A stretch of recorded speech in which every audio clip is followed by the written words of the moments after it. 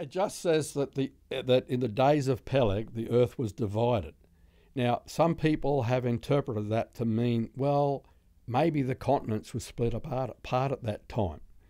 But I don't hold to that view because there's an association at that time with the Tower of Babel.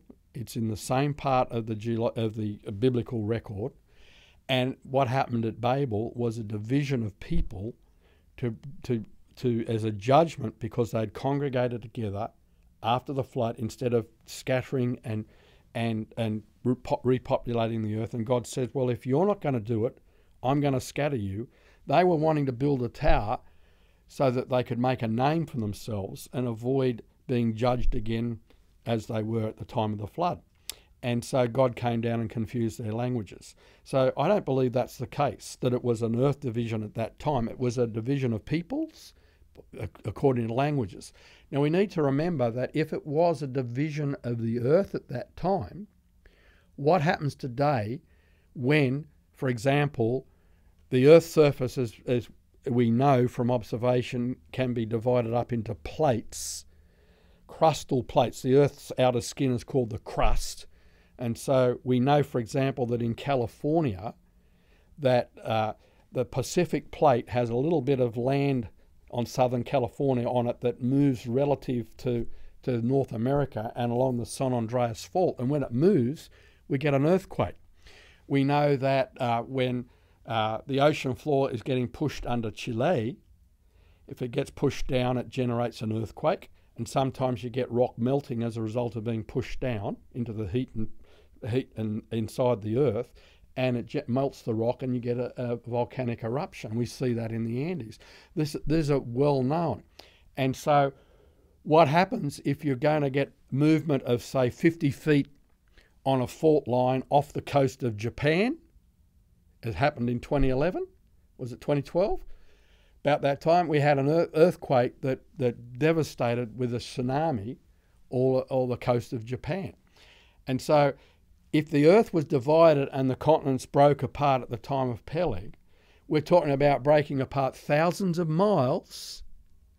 That's going to generate humongous earthquakes. They're going to devastate everything on the Earth's surface. It just doesn't work.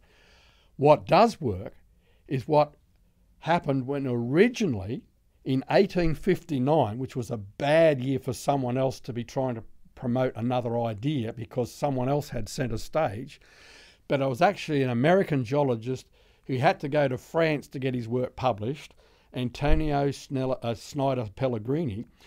He read in the Genesis chapter 1 that when God made the dry land, he gathered the waters together in one place and called them seas. And he inferred that, well, the land may have all been in one place. There may have been a supercontinent before the flood, which makes sense in, a sen- in that it would be easy for all the animals to get to, to Noah on the ark they didn't have to hop from Australia trying to find a way over water if Australia and all the other continents were pushed back together again, which you can see. He saw the jigsaw puzzle fit, of fitting Europe and North America and South America and Africa back, back together and closing up the Atlantic Ocean. So he was the first one who actually really promoted this idea that there'd been a supercontinent and that the Earth broke apart into the present continents. But he believed in continental sprint, not continental drift. And the interesting thing was that it was only in the early 1900s that some Germans and uh, South Africans took up this idea and proposed continental drift. And it was, it was poo-pooed as a, a bad idea by geophysicists and geologists for 50 years until after the Second World War, some of the uh, maps that had been generated because of the submarine warfare to chart the, uh, the, the mountains on the ocean floor they suddenly saw the mid-Atlantic ridge. They'd done testing of the Earth's magnetic field, and they, the idea was proposed that the, the, the Earth, had, like this, the Atlantic Ocean, had formed as a result of North America and, and Europe being split apart and opening up. And the time when this would happen is back where Antonio Snider Pellegrini said it would. And so uh, we have proposed this model, a few of us of creation scientists have proposed this model that there was one continent before the flood, and that Earth division to produce the continents that we have now occurred catastrophically during the flood. We call it catastrophic plate tectonics. that the fountains of the great deep represented the splitting open of the Earth's crust. Water came out, volcanic rock came out, pushed away, pushed pushed things and moved them around. The the old ocean floor, pre-flood ocean floor, being cold and dense, actually sank into the into the earth's into the earth's interior, and generated new ocean floor. And it created tsunamis that created waves that washed up onto the ocean floor.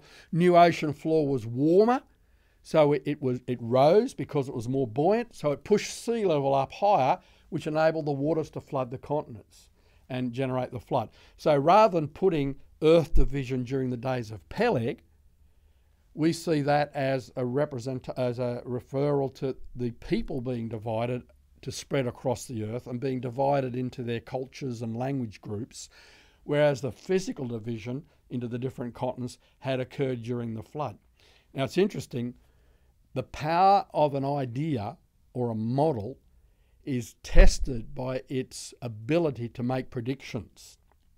And when this idea we put forward was proposed, uh, one of the main men who was involved, a geophysicist uh, named Dr. John Baumgardner, who actually did his PhD at uh, UCLA, deliberately modelling what was going on during the Earth in the context of Noah's flood. And he made the prediction that if the cold, dense, pre flood ocean floor sank down inside the earth, it would eventually gone all the way down through the mantle, which is the division under the crust, to the boundary with the core.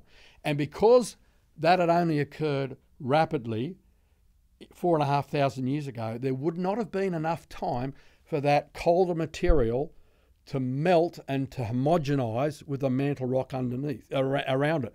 And therefore, we should expect to find evidence that those cold slabs still existed at the base of the Earth's mantle. In 1994, the secular scientists published the evidence. They'd found it with earthquake seismic imaging inside the Earth. You know, earthquake waves are just like ultrasound, and you can build a 3D image inside the Earth using the, the, the sound waves from earthquakes. And they actually found that, that. So his prediction was shown up to be correct. So that, that enhances the power of that model when it, when it makes a prediction and, and it's fulfilled. So sadly, we disagree with those who say Peleg was, you know, continental breakup. We sympathise with what they're trying to do, but in the context, we see that as referring to the Babel judgment, whereas the breakup of the continents we believe occurred during the flood. I think it fits better there because the, the, the tremendous upheaval would have been part of the judgment that God used to wipe out animals and, and people that had sinned prior to the flood.